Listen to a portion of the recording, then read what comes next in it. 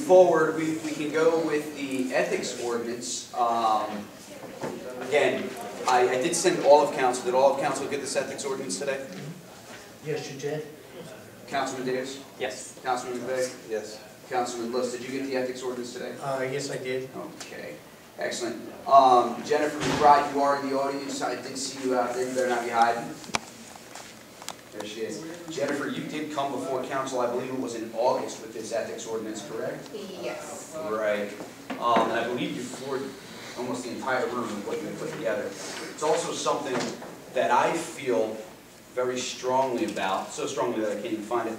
Uh, there, where did it go? Um, no, I do feel very strongly about it, Jennifer, I just can't find it.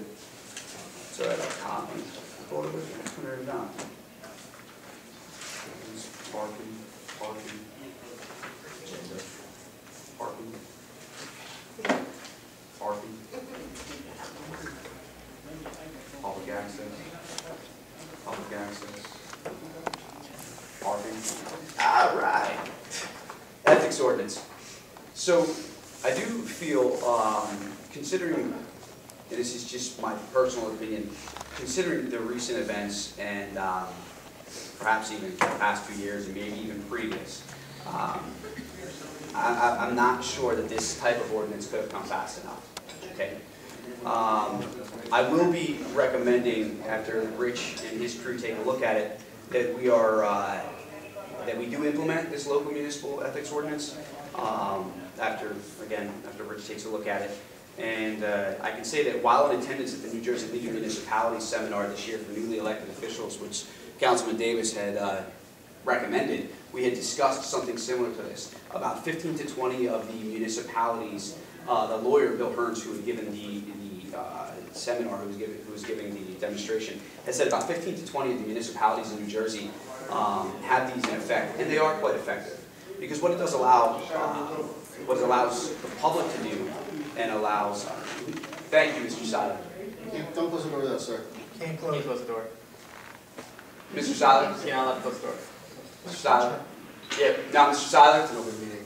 We can't close the door, because it's an open meeting. I see. We can ask them to keep it down. Yeah.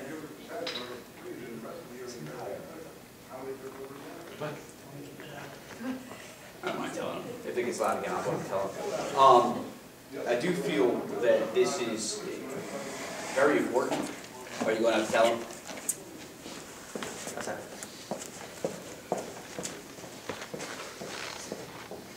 I'm good at Paul. Go on. They left. Close the other door, so we're You scared, you got him out of here, man. Good job. Um, as a, as a newly elected public official, um, and Councilman Woods, who served back in the nineties, I believe that in integrity and, and ethics are probably the mo paramount, extremely paramount to our position. And you, as a resident, should be able to hold us accountable. So if we commit an ethics violation, where do you currently go, right? You currently go to DCA, um, and I believe the problem is that it's very, it's a very lengthy process. Whereas if we have the municipal, if we have a municipal ordinance here, you go to that body. And I believe the way that it's written is fair.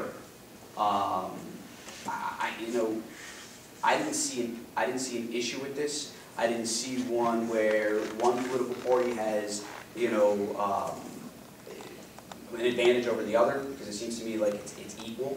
Um, I, I, don't know, I I'd really rather gather the perspective of the other officers, uh, of the other, uh, members of our governing body, and then we can go ahead and, and read it aloud, this way you guys can yell at us later.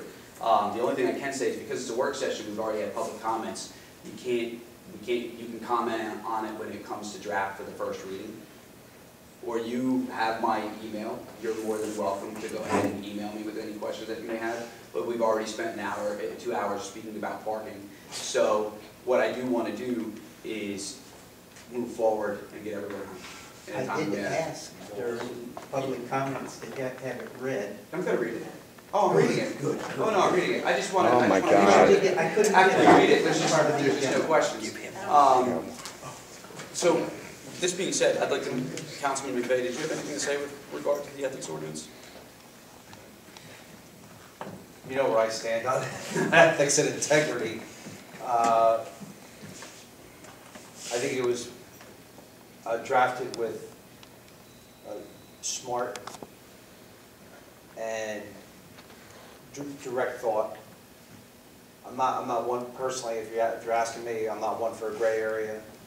Um, I like, I like hard line, I like hard rules, and uh, if you have not um, heard this before or seen anything of it, I think this is a very well-written document.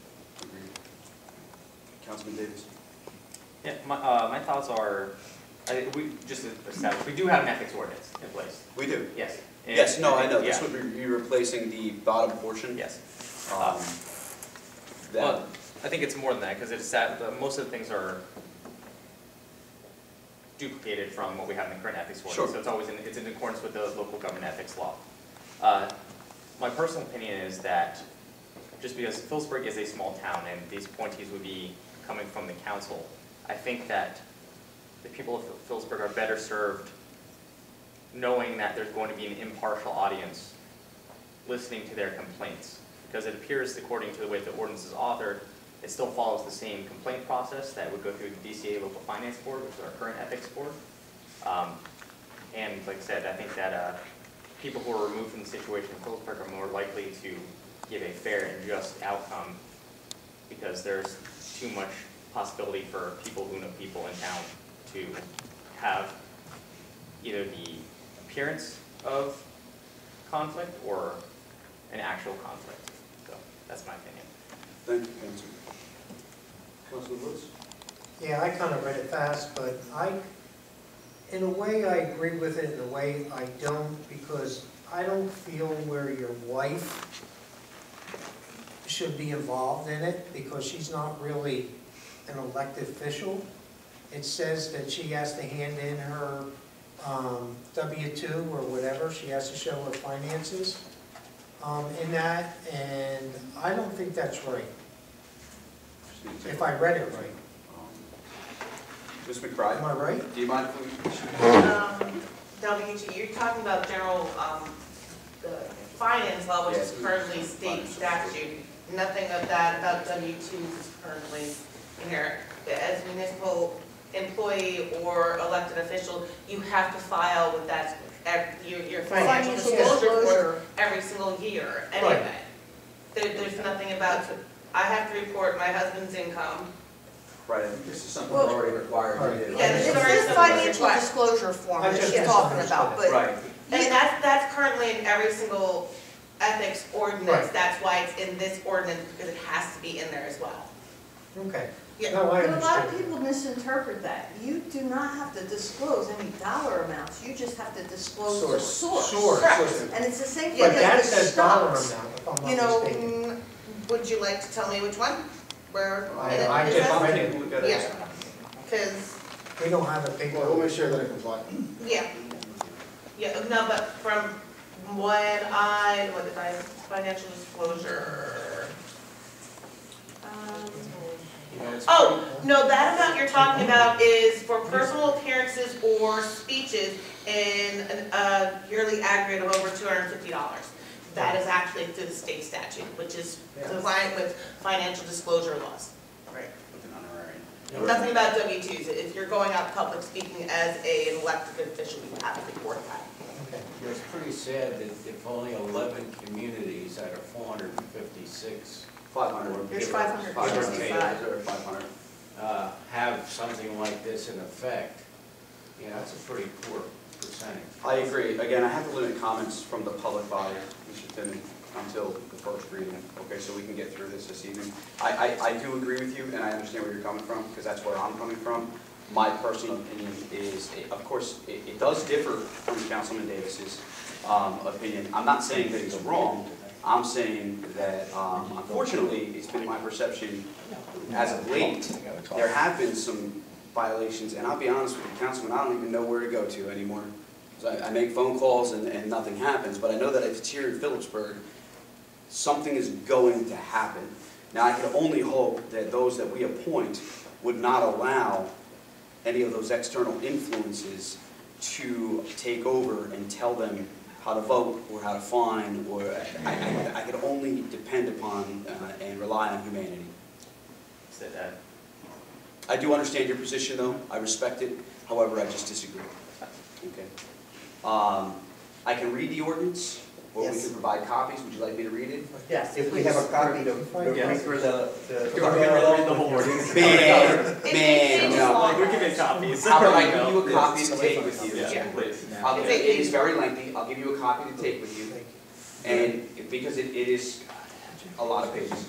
Okay, and, and then there will be a time at the next meeting when we can do the. There most, there most certainly will be, and it doesn't mean this is gonna pass, this is going to be proposed, okay? It could be shot down three to two, it could be shot down five to zero, it could pass five to zero. It's got a scary name.